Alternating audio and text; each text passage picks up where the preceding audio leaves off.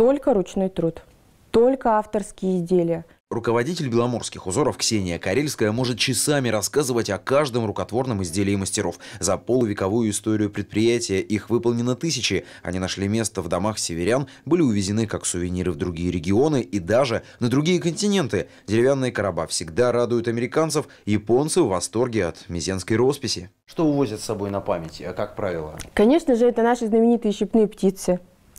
Это, кстати, изделие наше запатентованное. Знаменитые птицы счастья уже готовятся прилететь на Арктический форум. Их резчики беломорских узоров заготовят свыше тысячи экземпляров. В создании северного чуда, как выяснилось, хитрости нет. Туловище и крылышко. То есть две части у щепной Да, птицы. да. Кроме щепной птицы, специально из Каргополя на форум приедет глиняная армия белых медведей. Будут и другие сувениры. Все они разместятся в специально сшитых сумках из хлопковой ткани. То есть, возможно, даже такие сумки получат первые лица государств, да, которые приедут на форум. Да, конечно. Гости форума увезут из Архангельска на память не только подарки и сувениры, но еще и оденутся по последнему слову поморской моды. Вот в такие замечательные свитера, шарфики с традиционными северными узорами. Ну а в дополнение вот такая вот шапочка. Одним словом, гости Международного арктического форума станут настоящими поморами.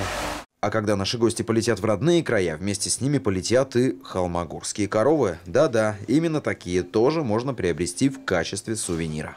Поскольку Архангельск также является родиной э, холмогорской породы скота, поэтому э, летающая корова у нас тоже улетает далеко из Архангельска. Э, холмогорская резьба по кости – это тоже старый древний поморский промысел, который вообще возник в незапамятные времена, и э, от каких-то простых утилитарных вещей уже перешли к украшениям и каким-то таким тоже вот вещам, которые тоже вот э, как бы характеризуют промыслы Архангельской области. Кстати, о промыслах добыча водорослей – один из них. Архангельский водорослевый комбинат тоже готов многое рассказать гостям Арктического форума. Не сколько о разнообразии продукции, сколько о возможности поставлять ее для арктических нужд. Витамины и микроэлементы, особенно йод, остро необходимы в суровых условиях Заполярья. У нас вся продукция натуральная. У нас химии нет абсолютно. Вот, поэтому она уникальна.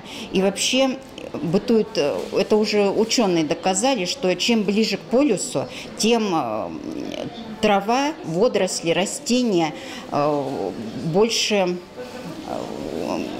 богаты витаминами и микроэлементами. А благодаря умельцам из творческой мастерской «Архангельский пряник» гостям форума и по Чумбаровке гулять не придется. Вот же она, такая козуля в 3D-формате. Дома, лавочки, деревья, фонари, пряничную композицию. Эксклюзивно первой увидела наша съемочная группа, повезет и гостям форума.